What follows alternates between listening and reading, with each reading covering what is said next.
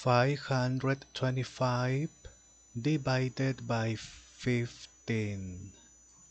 5 is less, therefore next. 52 is not less, okay? Is not less, therefore with 52.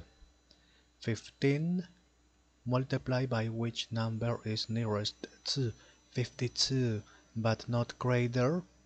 15 multiplied by 4 60 60 is greater.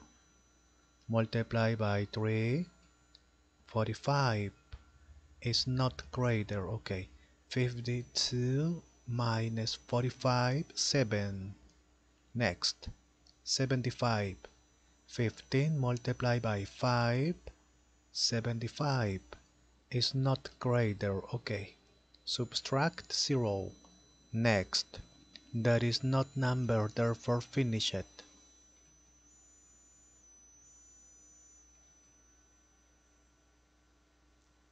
Five hundred twenty-five divided by fifteen is thirty-five. Okay.